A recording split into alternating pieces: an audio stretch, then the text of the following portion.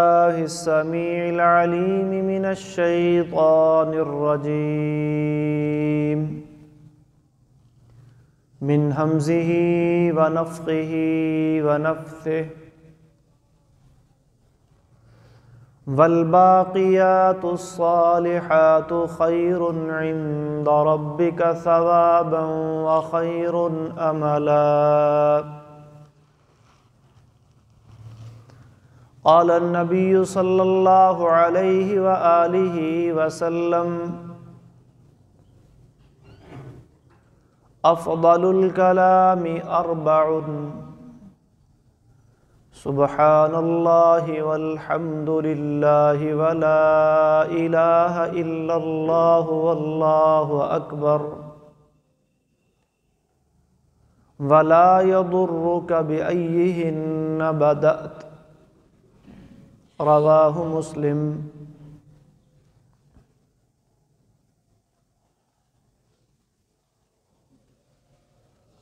अल्लाह रब्बुलमीन की ज़िक्र और हर वक्त उसे याद रखना। ये एक अजीम अमल है। और इतना अजीम अमल है कि अल्लाह तबारक व ताली ने कुरान मजीद में इरशाद फरमाया वलदिक्र अकबर। अल्लाह का ज़िक्र, अल्लाह की याद सबसे बड़ा अमल है। और हम जितनी भी इबादत सर अंजाम देते हैं, ये भी दरअसल अल्लाह की याद ही हैं। जैसा कि अल्लाह तबारक व ताली ने नमाज़ के बारे में इरशाद फरमाया वाक़ीम सलाता लिक्री और नमाज़ कायम करो मेरी याद के लिए। और अल्लाह ने बाकायदा कुरान मजीद में कई मकाम पर हुक्म दिया, या अयुहल्लदीन आ मरुदकुल्ला ज़िक्रन कसीरा ईमान वालो कसरत के साथ अल्लाह का ज़िक्र करो। एक जगह फरमाया वज़कुल्लाह कसीर अल्लाकुम तुफलिहून। अल्लाह का कसरत से ज़िक्र करो ताकि तुम्हें कामयाबी मिल सके, कामयाब हो सको। और एक मकाम पर यूँ फरमाया कि फ़ज़कुरूनी अज़कुरकुम। तुम मेरा ज़िक्र करो, मुझे याद रखो, मैं तुम्हें याद रखूँगा, मैं तुम्हें नहीं भूलूँगा। और अगर तुम मुझे भूल गए, मेरी याद को भूल गए तो फिर दुनिया भी तंग कर दूँगा और आखरत में मैं तुम्हें भी भूल जाऊँगा। दुनिया में भी और आखरत में भी तुम्हारे लिए तंगियाँ ही तंगियाँ हो जाएँगी। वमन आरद अन ज़िक्री फ़ैन लहू मीशतन बन का अल्लाह फरमाते हैं सूरत आहा के अंदर, जो मेरी याद से, मेरे ज़िक्र से मुँह मोड़ता है, हम उसकी मीशत तंग कर देते हैं। और जो भूल जाता है, उसके बारे में फरमाया फल यौमा नन साहुम आज हम भी उनको ऐसे ही भूल जाएँगे। कमा नसूल यौम आदा जैसे वो आज के दिन हम हमारी मुलाकात को भूल गए। नसुल्ला फ नसीहम ये जगह फरमाया, वो अल्लाह को भूल गए, अल्लाह ने उन्हें बुला दिया। तो अल्लाह की याद नबी अकरम सल्लल्लाहु अलैहि वसल्लम कसरत से किया करते थे, अल्लाह का ज़िक्र। सही मुस्लिम में हदीस आती है, कान यदकुल्ला कुल अहयान। सैद आयशा रदी अल्लाह तहा बयान करती हैं, आप हर वक्त अल्लाह का ज़िक्र किया करते थे। और ज़िक्र के बारे में आप वसल्लम ने मिसाल देते हुए इरशाद फरमाया कि मसलदी यदकुर रब्बहू वल्लदी ला यदकुर रब्बहू मसलहय वलमैत सही बुखारी की हदीस है। उस बंदे की मिसाल जो अपने रब का ज़िक्र करता है, अपने रब को याद करता है और उसकी मिसाल जो अपने रब को याद नहीं करता, ऐसे है जैसे एक ज़िंदा है और दूसरा मरा हुआ है, मैयत है। जिसके दिल में रब की याद नहीं, समझो वो मुर्दा है। अमवातुन गैर अहिया। अल्लाह फरमाते हैं, ये मुर्दा है, ज़िंदा नहीं है। बाज़ार लगते हैं, चल रहे हैं, फिर रहे हैं, बोल रहे हैं, देख रहे हैं, हंस रहे हैं। लेकिन हकीकत में ये क्या है? अमवात मुर्दा हैं। ज़िंदा नहीं है। एक सहाबी नबी सल्लल्लाहु अलैहि वसल्लम के पास आया, अर्ज़ की अल्लाह के रसूल इन शराइस्लामी कद कसरत। इस्लामी अहकाम और फ़रज़ बहुत ज़्यादा हैं। मुझे कोई ऐसा अमल बताएँ कि जो मजबूती से मैं उसे थाम लूँ और वो मेरी नजात का ज़रिया बन जाए। फरमाया का रतबम बिन दिक्र अपनी ज़ुबान को हमेशा अल्लाह की याद से तरोताज़ा रख। एक हदीस में आता है, नबी सल्लल्लाहु अलैहि वसल्लम ने फरमाया इन अलीकुल्ली शई इन सिकाला। जिस तरह चीज़ों को जंग लग जाता है मैली कुचैली और ख़राब हो जाती हैं तो हम उन्हें साफ़ करने के लिए मुख्तलिफ़ किस्म की पॉलिशें इस्तेमाल करते हैं। जूते की पॉलिश होती है, लेदर की पॉलिश होती है, स्टील की पॉलिश होती है, शीशे की पॉलिश होती है, मुख्तलिफ़ पॉलिशें निकली हुई हैं। तो अल्लाह के नबी फरमा रहे हैं कि हर चीज़ की पॉलिश होती है। तो ये दिलों को भी जंग लगता है, ये भी जंग आलूद हो जाते हैं। गफलत की वजह से गुनाहों की कसरत की वजह से इनके ऊपर जंग चढ़ जाता है, ये स्याह और तारीक हो जाते हैं। वह इन सकालतलूबी ज़िक्रुल्ला और फरमाया कि दिलों की पालश क्या है? अल्लाह का ज़िक्र। तो अल्लाह की याद से, अल्लाह के ज़िक्र से ये दिल पॉलिश हो जाते हैं। सुनन तिरमजी में एक हदीस आती है नबी करीम सल्लल्लाहु अलैहि वसल्लम ने हज़रत ज़करिया और याहिया का वाक़ बयान किया। बड़ी लंबी हदीस है। उसमें एक बात ये भी इरशाद फरमाई कि ज़िक्र की मिसाल ऐसे है, जैसे कोई आदमी वो कहीं जा रहा है, सफ़र कर रहा है और दुश्मन उसके पीछे लग जाता है, चोर, डाकू, उसकी जान और माल का कोई दुश्मन उसका पीछा कर रहा है। और वो आगे आगे भाग रहा है, वो उसके पीछे पीछे। तो भागते भागते अचानक उसके सामने हसन हसीन एक मज़बूत कला आ जाता है। पुराने दौर में कले होते थे ना बड़ी बड़ी इमारतें, चार दीवारी होती थी ऊँची ऊँची एक दरवाज़ा होता था, उसके अंदर चले जाते थे और फिर बाहर से दुश्मन का ख़तरा नहीं रहता था। तो उसके सामने एक कला आ जाता है, वो भागते भागते कले का दरवाज़ा खोल के अंदर चला जाता है और दरवाज़ा बंद कर लेता है और महफूज हो जाता है। दुश्मन से बच जाता है। फरमाया, ज़िक्र की मिसाल भी ऐसे ही है। ये जो अल्लाह की याद है, ये जो अल्लाह का ज़िक्र है, ये भी इंसान को ऐसे ही शैतान के, ख्वाहिशात के, अपनी नफ्स के हमलों से ऐसे ही बचाता है जैसे उस कले ने उस ताजर को, उस इंसान को अपनी जानो माल के दुश्मन से बचा लिया, वो किले के अंदर चला गया, उसकी जान भी बच गई, उसका माल भी बच गया, महफूज हो गया। फरमाया का अल्लाह का ज़िक्र भी ऐसे ही है कि जो अपने आप को अल्लाह की पनाह में दे देता है और अल्लाह की याद से अपने दिल को मामूर और आबाद कर लेता है तो न सिर्फ़ ये कि वो दुनिया के चोरों, डाकुओं और लुटेरों से बच जाता है बल्कि उसके जो ईमान का लुटेरा है, ईमान का चोर है, जो नेकियों का चोर है, शैतान, फरमाया हिरजुमिन शैतान, उससे भी वो महफूज हो जाता है, उसको आफ़ियत मिल जाती है, वो सलामती में चला जाता है। अगर बंदा अपने आप को अल्लाह की ज़िक्र की पनाह में दे ले, अल्लाह की याद की पनाह में दे ले। ज़िक्र की मुख्तलिफ़ सूरतें हैं, मोहतरम भाइयों, जैसे कि मैंने हदीस बयान की नबी सल्लल्लाहु अलैहि वसल्लम यदकुल्ला कुल हर वक्त अल्लाह का ज़िक्र। अब ये हर वक्त अल्लाह का ज़िक्र कैसे मुमकिन है? इंसान ने खाना भी है, पीना भी है,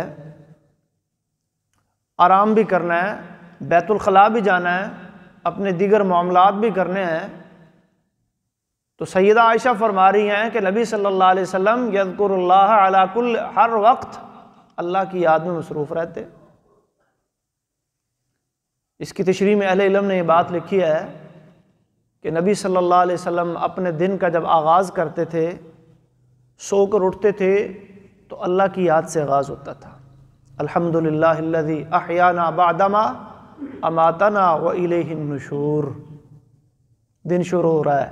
अल्लाह की याद से आप अपने दिन का क्या कर रहे हैं? आगाज़ कर रहे हैं। और फिर जब बैतुलखला में जाते, फिर क्या करते? फिर अल्लाह का ज़िक्र अल्लाह इन्नी आऊदबिका मिनलखबूसी वलखबाइस फिर जितनी देर अंदर रहे हैं क्योंकि वहाँ एक ऐसा मकाम है जहाँ अल्लाह का नाम नहीं लिया जाता। जब बाहर निकलते तो क्या कहते? गुफरानक। अल्लाह इतनी देर में तेरी याद से गाफिल रहा, महरूम रहा, मुझे बख्श देना। है? और फिर वज़ू के लिए पानी के करीब आते तो क्या कहते? बिस्मिल्लाह। या बिस्मिल्लाहिर्रहमानिर्रहीम। दोनों पढ़े जा सकते हैं। और वज़ू फरमाते, दौरान वज़ू भी बाज़ लोगों ने कुछ दुआएँ बना रखी हैं कि जी चेहरा धो तो ये दुआ पढ़नी है, बाजू धोएँ तो ये दुआ पढ़नी है मसा करें तो ये ये वज़ू के दरमियान कोई दुआएँ नहीं साबित। वज़ू बज़ात ख़ुद एक अमल है, एक नेकी है और वज़ू करने से इंसान के गुनाह झड़ रहे हैं। जब आपने बिस्मिल्लाह से वज़ू शुरू कर लिया है तो समझो आप ज़िक्र के अंदर मशगूल हैं। वज़ू ख़त्म हुआ। वज़ू के बाद के अज़कार अशद अल्लाह वहदहू ला शरीक लहू व अशद महमद अब्दू व रसूल। फरमाया, जो बंदा वज़ू करने के बाद ये दुआ पढ़ लेता है, उसके लिए जन्नत के आठों दरवाजे खोल दिए जाते हैं। बाद साथी, ये दुआ पढ़ते हुए ना, ऐसे शहादत की उंगली आसमान की तरफ़ उठाते हैं और ऐसे करके देखते हैं। ये सुन्नत नहीं है, मोहतरम भाइयों। नबी सल्लल्लाहु अलैहि वसल्लम का तरीका यही है कि बस वज़ू करने के बाद ये दुआ पढ़नी है। ना तो आसमान की तरफ़ देखना सुन्नत से साबित है और ना ये शहादत वाली उंगली उठाकर ऐसे उसका रुख आसमान की तरफ़ करना। ये दोनों खिलाफ सुन्नत काम है, ये बिदत है, इनसे बचना चाहिए। और भी दुआएँ हैं। वज़ू के बाद नबी सल्लल्लाहु अलैहि वसल्लम पढ़ा करते थे अल्लाह मजालनी मिन तवाबीन वजालनी मिनलमतरीन सुबहानक हमदी का अशद अंत अस्तफ़रुका व अतूब इलेक।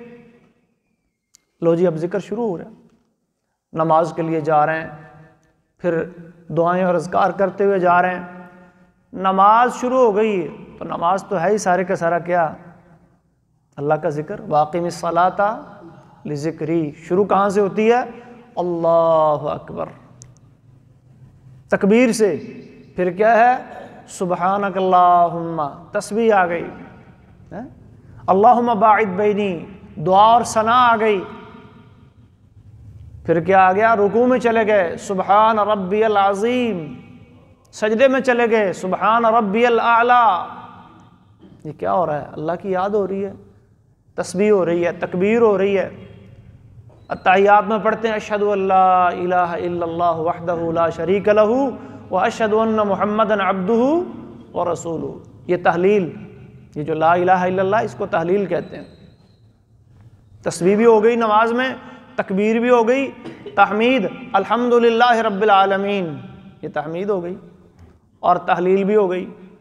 और सलाम फेरा तो फिर सलाम फिरने के बाद क्या कहना जी ऊँची आवाज़ से?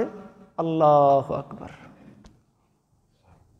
नमाज़ से फ़ारग हुए, फिर फिर अजगार हैं और फिर गुफ्त शनीद में मशगूल हो गए, वाज नसीहत में मशगूल हो गए। अल्लाह के नबी दरस तदरीस में बैठ गए, मसले मसाइल बताने लगे। अल्लाह की याद हो रही है। अल्लाह का ज़िक्र हो रहा है। उठ के जा रहे हैं, बैठ रहे हैं, घर आ रहे हैं, इधर जा रहे हैं। साथ साथ अल्लाह का ज़िक्र। ज़िक्र करने के लिए कोई जगह मखसूस ये ज़रूरी नहीं है कि आप किसी मखसूस जगह पे ही अल्लाह का ज़िक्र कर सकते हैं। कुरान में अल्लाह फरमाते हैं अल्लादीन यदकुरून अल्लाह क़ियाम वक़ूदम वला जुनूबहिम। कि अल्लाह के बंदे अल्लाह का ज़िक्र करते हैं, खड़े हैं तो फिर भी अल्लाह का ज़िक्र हो रहा है। क़ूदन बैठे हैं तो फिर भी अल्लाह का ज़िक्र हो रहा है। वह अला जुनूबहिम, लेटे हुए हैं तो फिर भी अल्लाह का ज़िक्र हो रहा है। इसी तरह नबी सल्लल्लाहु अलैहि वसल्लम किसी से मुलाकात करते तो क्या कहते? अस्सलाम वालेकुम वरहमतुल्लाहि वबर, ये क्या है? अल्लाह का ज़िक्र। हाल चाल पूछा, है? तो जवाब में क्या कहा? अल्हम्दुलिल्लाह। कोई अच्छी चीज़ देखी तो क्या कहा? माशा अल्लाह कोई हैरान कन चीज़ देखी तो क्या कहा? सुबहान अल्लाह कहीं खुशी वाली बात महसूस हुई तो क्या कहा? अल्लाह अकबर। ये नबी की सुनतें हैं। जो हम भूल चुके हैं। और हम गैरों की नकाली करते हुए, ओए होए, ओ माय गॉड आई सी, ये ये चीज़ें हमने और हमारे बच्चों ने पका ली। और ये जो नबी सल्लल्लाहु अलैहि वसल्लम हर वक्त अल्लाह की याद में मशगूल रहते थे और सुन्नत में, हदीस में ये चीज़ें जो हमें दी गई हैं कि भाई अच्छी चीज़ देखें तो क्या कहें? माशा कहें। खुशी मिले तो क्या कहें? अल्लाह अकबर कहें। हैरान कन चीज़ सामने आए तो क्या कहें? सुबहान अल्लाह कहें। किसी से मिलें तो क्या कहें? असलकम वरहमल वरक कोई हाल पूछे तो क्या कहें? अल्हम्दुलिल्लाह कहें। कोई आपके साथ अच्छाई करे तो क्या करें? जजाकल्ला कहें। जजाकल्ला खैरा कहें। यही मतलब है इस हदीस का, कि कान यज़कुल्ला कुल्ल अहयान ही अल्लाह के नबी हर वक्त अल्लाह का ज़िक्र करते रहते थे। ये सारी जो दुआएँ छोटी छोटी छोटी खाना खाते, बिस्मिल्लाह पढ़ते। पानी पीते, बिस्मिल्लाह पढ़ते। लिबास पढ़, पहनते, बिस्मिल्लाह पढ़ते। हर काम शुरू करने से पहले बिस्मिल्लाह पढ़ते। कोई नेमत मिलती, अल्हम्दुलिल्लाह कहते, ये अल्लाह का ज़िक्र अल्लाह की याद है। यूँ नबी सलाम हर वक्त अल्लाह की याद में मशगूल रहते, मसरूफ़ रहते हैं। अगर आप भी चाहते हैं कि रसूलुल्लाह वसल्लम की सुन्नत पर अमल पैरा हूँ और अपनी ज़ुबान को और अपने दिल को हर वक्त अल्लाह की याद से तरोताज़ा रखें तो फिर रसूलुल्लाह सल्लल्लाहु अलैहि वसल्लम की ये छोटी छोटी सुन्नतें, ये छोटे छोटे तरीके जो आप वसल्लम ने हमें सिखाए हैं, जो अदा करने में छोटे से हैं। छोटे इसलिए कहा जा रहा है कि ये ज़ुबान से अदा करना कोई मुश्किल नहीं है। जैसे कि बुखारी शरीफ की एक हदीस है, नबी सल्लल्लाहु अलैहि ने फरमाया, कलिमतान हबीबतान रहमान, सकीलतान फ़िलमीज़ान खफीफ़तान अलसान दो ऐसी बातें हैं जो अल्लाह को बड़ी पसंद है और मीज़ान, तराजू जिसमें आमाल तोले जाएँगे, उसमें बहुत भारी हैं और वो कोई मुश्किल नहीं है। खफीफ़तान, मुख्तसर सी, हल्की सी, छोटी सी दो बातें हैं। सुबहान अल्लाह वबहमदी सुबहान अल्लाज़ीम तो छोटा इस एतबार से कहा जा रहा है कि कोई ज़ोर नहीं लगता। कोई लंबा चौड़ा टाइम ज़ाया नहीं होता, बस एक आदत बनाने वाली बात है, एक मिजाज बदलने वाली बात है, एक अल्लाह के रसूल से मोहब्बत अकीदत वाली बात है कि मैं बतौर मुस्लिम, अगर अल्लाह के रसूल से मोहब्बत करता हूँ तो फिर मेरी तो कोशिश ये होनी चाहिए ना कि मेरा हर अमल रसूलुल्लाह सल्लल्लाहु अलैहि वसल्लम के तरीक़े के मुताबिक हो। अल्लाह के नबी कैसे दूसरे साथी से दूसरे भाई से मिलते थे मिलते थे तो क्या कहते थे? हाल चाल पूछते थे तो कैसे पूछते थे? बाज़ार जाते थे तो कैसे दाखिल होते थे? मस्जिद में आते से तो उनका रवैया, उनका अखलाक, उनके मामूलात क्या होते थे? इस एतबार से जो है, अगर हम ये सुन्नतें अपना लें तो हमारा भी सारा दिन अल्लाह की याद में बसर हो सकता है। और फिर रात को जब अल्लाह अकबर सोने के लिए लेट रहे हैं, फिर अल्लाह की याद करके, हैं? दुआएँ पढ़ के। मुख्तलिफ़ दुआएँ आई हैं, मुख्तलिफ़ अजगार आए हैं, और फिर सो गए ये नहीं कि वो सोना कोई बेकार और ज़ाया जा रहा है। फरमाया फ़िन नौ महू व नबहू अजर कुल्लू ऐसा इंसान जब अपनी ज़िंदगी को अल्लाह और उसके रसूल के तरीक़ों के मुताबिक गुजारने वाला बना लेता है, इसकी नींद भी अजर बन जाती है। इसका जागना तो अजर है ही है, इसका फिर सोना भी बायस अजर और शवाब बन जाता है। ये सोता इस नीयत से है कि मैं सोऊँगा, राहत हासिल करूँगा और फिर दोबारा से तोानाई हासिल करके, राहत और सुकून हासिल करके अल्लाह की इबादत में, अल्लाह की याद में और अल्लाह ने मेरे ऊपर जो ज़िम्मेदारियाँ आयद की हैं, मेरे ऊपर जो हकूक़ अल्लाह ने बनाए हैं, दीगर इंसानों के मेरे साथ जो जुड़े हुए हैं, उनको अदा करने की कोशिश करूँगा। तो ये मतलब है, कान यज़कुल्ला कुल्ले आहियान कुछ ज़िक्र ऐसे हैं जिनकी नबी सल्लल्लाहु अलैहि वसल्लम ने खसूसी तरगीब बयान फरमाई है और बड़ा उनका अजर शवाब बयान फरमाया वैसे तो ज़िक्र की कई किस्में तस्वीर भी अल्लाह का ज़िक्र है, तकबीर भी अल्लाह का ज़िक्र है, तहमीद भी अल्लाह का ज़िक्र है, तहलील भी अल्लाह का ज़िक्र है। हौकला यानी ला हौला वला क़ुव्वत इल्ला बिल्ला ये भी अल्लाह का ज़िक्र है। इस्तग़फ़ार भी अल्लाह का ज़िक्र है। इसी तरह दरूद भी अल्लाह का ज़िक्र है। मुख्तलिफ़ अज़कार हैं। इंसान को गाहे बगाहे करते रहना चाहिए। इनमें तनवो आना चाहिए। तनवो का मतलब यानी नबी सल्लल्लाहु अलैहि वसल्लम ने मुख्तलिफ़ अज़कार बताए हैं तो हमें भी मुख्तलिफ़ ही मौका ब मौका की मुनासबत से पढ़ते रहना चाहिए। लेकिन एक दो बातें याद रखें। ज़िक्र भी एक इबादत है। और इसको इबादत समझ के करना चाहिए। और इसमें अपनी तरफ़ से ख़ुद साख्ता तरीके और ख़ुद साख्ता अज़कार गढ़ने से और ईजाद करने से बचना चाहिए। जैसे आजकल लोगों ने मुख्तलिफ़ ख़ुद साख्ता किस्म के ज़िक्र बना रखे हैं। और बाकायदा लोग फिर अपने खुद साख्ता ये ज़िक्र दूसरों को देते हैं। कभी आपने सुना होगा जी, फ़लाँ साहब से मैंने ये वजीफ़ा लिया है, फ़लाँ ने मुझे ये ज़िक्र दिया है। भी ज़िक्र देने वाले या तो अल्लाह ताला हैं या अल्लाह के रसूल हैं, फ़लाँ आपको बता सकता है। अगर वो फ़लाँ किताब सुन्नत के मुताबिक कोई ज़िक्र बता रहा है तो अमल किया जा सकता है। वरना फ़लाँ की क्या मुजाल है कि अपनी जानब से वो कोई ज़िक्र या कोई इबादत वो अपनी तरफ़ से बनाकर आपको दे दे तो अजगार के हवाले से नबी सल्लल्लाहु अलैहि वसल्लम की एक हदीस है कि एक साहबी को आपने सोने की दुआ सिखाई। और सोने की उस दुआ में आप वसल्लम ने नबी का के लफ्ज़ बोले अल्लाह असलम तो वजी इलेक वफ़वज़ तो अमरी इलेक वालजा तो जहरी इलेक ला मंजा वला ला मलजा वला मंजा मिन का इल्ला इलेक आमन तो बिकिताबी कल्लदी अनजलता व बिन बिनबी कल्लदी अरसलता। ये दुआ सिखाई और फरमाया कि ये दुआ तुमने आखिर में पढ़नी है। इसके बाद कोई बात नहीं फिर करनी। बस ये दुआ पढ़ के फिर आपने सो जाना है। अगर आप सोए सोए इसी हालत में फौत हो गए, अल्लाह के पास चले गए मुत्ताल फ़ितरा, तू फितरत इस्लाम के ऊपर अकीद तोहद के ऊपर मरेगा और तेरा इंजाम अच्छा होगा। फिर आपने फरमाया, अब सुनाओ मुझे, ये दुआ जो मैंने सुनाई ना, सिखाई ना तुम्हें, अब ये तुम मुझे सिखाओ। अब साहबी दुआ सुना रहे हैं, ये सही बुखारी का वाक़ है। अब दुआ सुनाते सुनाते आखिर में जब वो पहुँचे ना तो उन्होंने कहा आमन तो बिरसूल कल्लदी अरसलता। आपने क्या सिखाया था? आमन तो बिन अबी कल्लदी अरसलता। अब उसने क्या थोड़ा सा बदल दिया आमन तो बिरसूल कल्लदी अरसलता। मैं ईमान लाया आपके रसूल पर, जिसको अल्लाह तूने हमारी तरफ़ भेजा है। अब मानवी अतबार से देखा जाए तो माना तो एक है।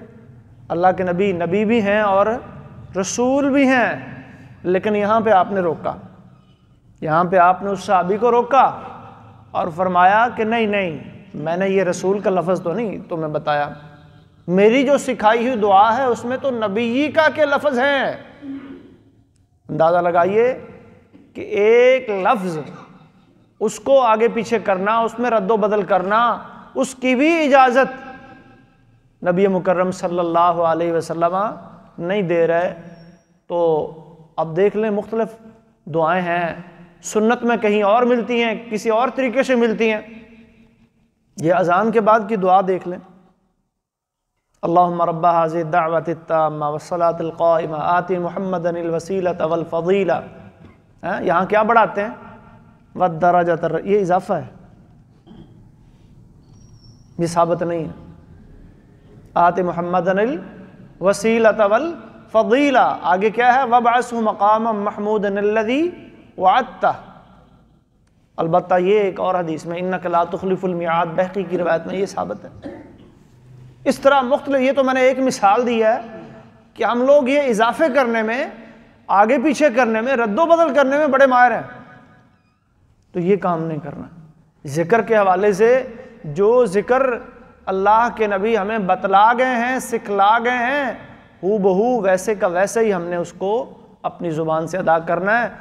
वरना ऐसा ना हो कि हम सवाब समझ कर नेकी की नीयत से ये करें। उल्टा बिदत का मरतकब होने की वजह से हम सवाब से महरूम ही ना हो जाए। दूसरी चीज़ है, ज़िक्र की कोई मखसूस कैफियत और हालत, वो अपनी तरफ़ से ईजाद कर लेना। मसलन कोई ये शर्त लगा दे जी, ये ज़िक्र जो है ना, आपने अंधेरे में बैठ के करना है। ये आपने कब्रस्तान जाके करना है। ये आपने किसी ऐसी जगह करना है जहाँ आपको कोई देखे ना। बताते ना जी लोग इस तरह के ज़िक्र, हैं? ये करना है जब, जनाब साहब, फलां टाइम हो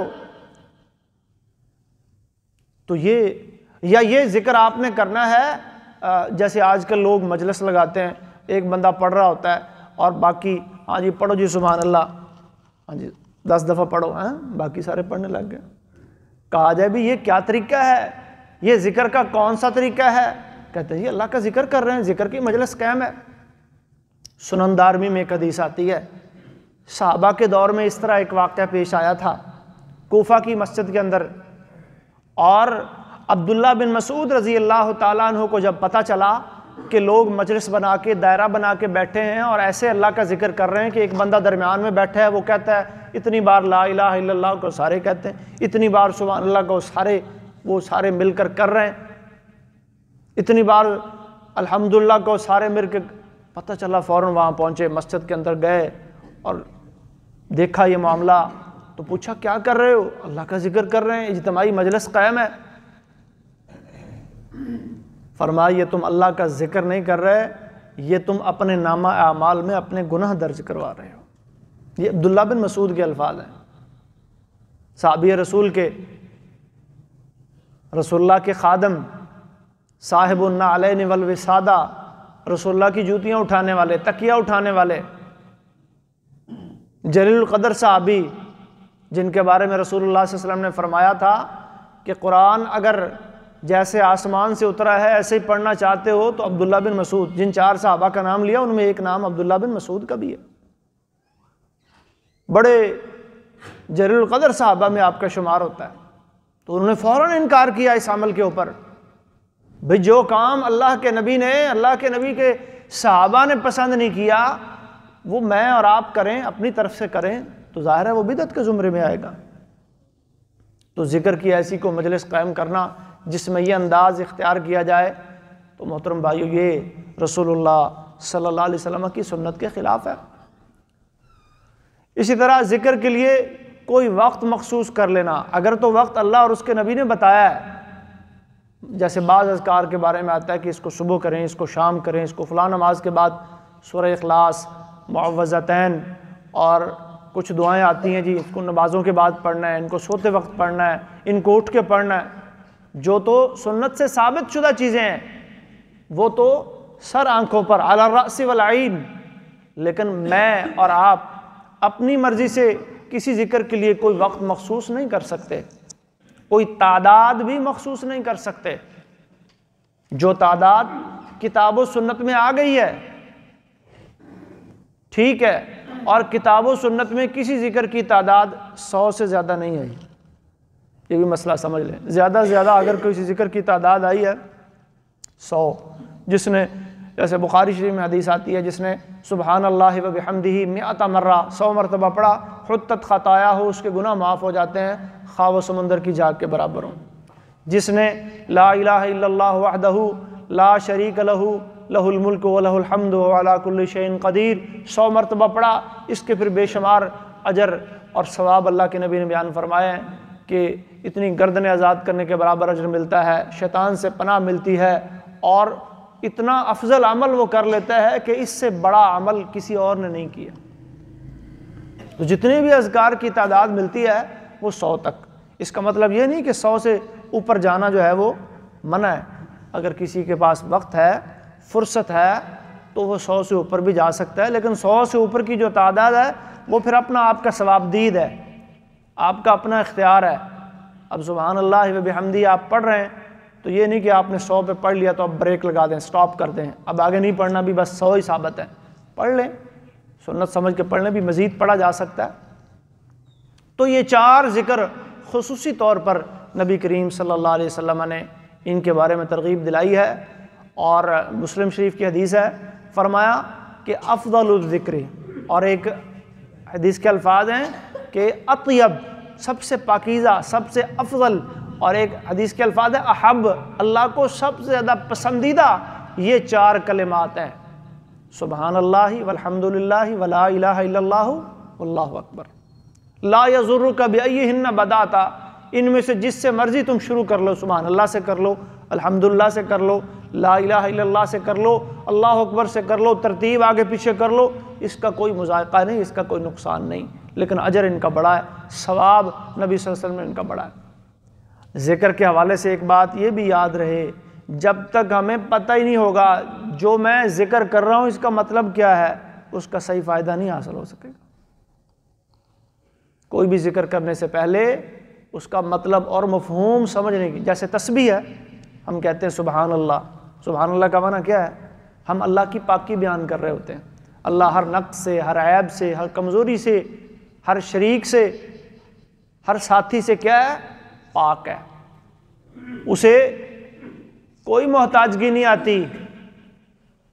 सारी कायनात उसकी मोहताज है और वो सबको देने ये तस्वीर है। तामीद क्या है? जितनी तारीफ़ें, अल्हम्दुलिल्लाह रब्बिल आलमीन। ये एक आयत अल्लाह ने कुरान में छः जगह बयान फरमाई। अल्हम्दुलिल्लाह, ये लफ्ज़ अल्लाह ने कुरान में तेईस मरतबा इस्तेमाल किया। पाँच सूरतें अल्हम्दुलिल्लाह से शुरू हो रही हैं। पाँच सूरतें, पाँच छः सूरतें अल्हम्दुलिल्लाह पे ख़त्म हो रही हैं। ये कलमा अल्लाह को इतना पसंद है। नबी वसल्लम फरमाते हैं कि लई सशैन अहब्बा मिनलहमद अल्लाह को अपनी तारीफ़ से ज़्यादा प्यारी कोई चीज़ नहीं है। इसलिए अल्लाह ने कुरान में अपनी तारीफ़ खुद की है। कुरान की सबसे पहली सूरत, जिसे हम सूरतुल्फातिहा कहते हैं, वो शुरू ही अल्लाह की तारीफ़ से होती है, अल्हम्दुलिल्लाह रब्बिल आलमीन। सब तारीफ़ें अल्लाह के लिए, जो सारे जहानों का रब है। तकबीर क्या है? अल्लाह की बड़ाई, अल्लाह अकबर। अल्लाह सबसे बड़ा है। अल्लाह से बड़ी कोई चीज़ नहीं है। अल्लाह की याद सबसे बड़ी है। अल्लाह का काम सबसे बड़ा है। ये मेरा अकीदा हो और ये मेरा अमल हो कि जब अल्लाह सबसे बड़ा है तो अल्लाह के काम भी सबसे बड़े हैं। तो जब मस्जिद से आवाज़ आए, अल्लाह अकबर अल्लाह अकबर, अल्लाह सबसे बड़ा है, अल्लाह सबसे बड़ा है तो मेरा अमल क्या हो? मैं अकीदा भी यही रखूँ और मैं अमल भी यही पेश करूँ। वाकई अल्लाह सबसे बड़ा है। मेरे ये मेहमान, मेरा ये काम, मेरी ये मसरूफियत, मेरी ये दुकान, मेरे ये छोटे छोटे काम, ये सारे छोटे हैं, ये बाद में होते रहेंगे। अल्लाह सबसे बड़ा है और अल्लाह मुझे बुला रहा है हैया अलसला हैया अलफला आओ नमाज़ की तरफ़, आओ कामयाबी की तरफ़। अल्लाह का काम सबसे बड़ा है। अब सबसे पहले मैंने ये काम करना है, उसके बाद फिर मैं कोई और काम करूँगा। अगर वाकई में अल्लाह को सबसे बड़ा समझता हूँ, और ला इल्लल्लाह का माना क्या इसको कहते हैं तहलील। और ये तो अम्बिया की दावत की बुनियाद है। अल्लाह के सिवा इबादत के कोई लायक नहीं। इसको कहते हैं तोहद उलूहियत। जितने भी अम्बिया दुनिया में तशरीफ़ लाए सबने अपनी अपनी कौमों को यही दावत पेश की। वमा अरसलमिन कबल कमिर रसूल ला फ़ाबुदून। ये ला इल्लल्लाह हमारी कामयाबी या नाकामी का मैार है। ये वही ला इल्लल्लाह है। जहाँ से रसूलुल्लाह ने अपनी दावत का आगाज़ किया था, कुल ला इल्लल्लाह तुफलिहून। और ये वही ला इल्लल्लाह है जिसके बारे में अल्लाह के नबी फरमाते हैं, मन काना आखिर कलामी ही ला इलाहा इल्लल्लाह दाखल जन्ना। जिसकी आखिरी बात ला इल्लल्लाह हुई, वो जन्नत में दाखिल हो गया। तो ये इसका माना है और इसके फिर तकाजे हैं। तस्बी के अपने तकाजे हैं, तहमीद के अपने तारीफ़ के लायक सिर्फ़ अल्लाह की ज़ात है। मैं सारी तारीफ़ें अल्लाह के नाम करता हूँ।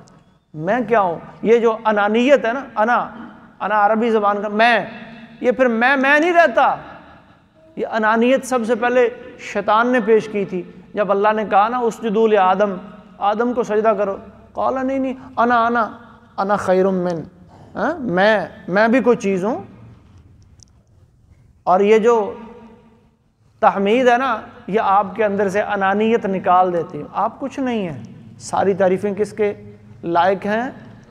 अल्लाह सुबहाना हुआ के लायक हैं। तो ये तस्बी तहमीद, तकबीर और तहलील का माना है। अल्लाह तबारक व हमें ज़िक्र के इन आदाब और इन शुरूत और इन तकाज़ों को मद्दनज़र रखते हुए अपना ज़िक्र करने की तोफ़ी अता फ़रमाए। और हमारी ज़िंदगी भी रसूलुल्लाह सल्लल्लाहु अलैहि वसल्लम के नक्श कदम पर चलते हुए वैसी ही हो जाए, जैसा कि सैद आयशा बयान फरमाती हैं कि यज़कुल्ला कुल्ली अहयानी ही और अल्लाह ताला कुरान में फरमाते हैं वलबाक़ियात सालिहात खैर रबी का सवाबम व खैर ये वो बातें, दुनिया की हम बातें करते हैं ना जी, एक एक मजलस में पता नहीं कितनी कितनी बातें हम ज़ुबान से कितने कितने लफ्ज़ बोल जाते हैं एक एक सांस में। लगव, फजूल लायानी बेमकसद, न दीन का कोई फ़ायदा, ना दुनिया को कोई फ़ायदा। फरमा ये वो कलिमात हैं जो बाकी रहने वाली नेकियाँ हैं। खैर इंद रबी का ये तेरे रब के यहाँ ज़्यादा बेहतर हैं। सवाब के अतबार से भी वह अमला और उम्मीद, इनसे आप उम्मीद लगाएँ। बाकी इसके फ़जाइल इन फिर कभी बयान होंगे। तो अल्लाह तबारक व ताली हमें ज़िक्र उस तरीके पर करने की तोफ़ी अता फ़रमाए।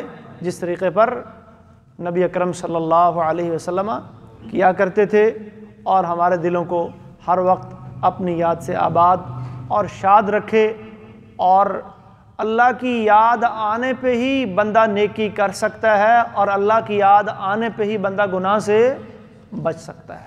वाखिर दावाना, अल्हम्दुलिल्लाह रब्बिल वक़ूल कौली हादा, अस्तग़फिरुल्लाह ली व